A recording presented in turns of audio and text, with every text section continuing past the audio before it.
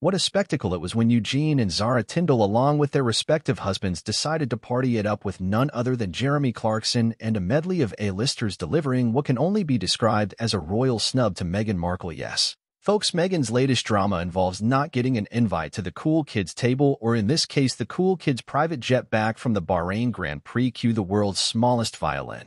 The jet set crew, which included Princess Eugenie Jack Brooksbank Mike and Zara Tindall Yes Royals actually having fun was seen disembarking from what was essentially a flying party mansion the Boeing 737 packed to the brim with booze gourmet food and a guest list that reads like a who's who of the elite was cheekily dubbed Air Force F1 talk about flying in style meanwhile Meghan was presumably left to sulk at home probably wondering why her invite got lost in the mail. Zara and Mike looked looking effortlessly chic in casual wear and Eugenie, the epitome of comfort and style, seemed to have the time of their lives. Let's not forget the cherry on top none other than Jeremy Clarkson, a man who's no stranger to controversy, especially when it comes to Meghan Markle, yet there he was mingling with the royals as if his satirical comments about Meghan were just water under the bridge. Poor Harry must be green with envy knowing that his love for F1 couldn't land him a seat on this exclusive flight despite his known fandom and previous collaborations with racing legends. It seems his ticket to the high-flying action was revoked the moment he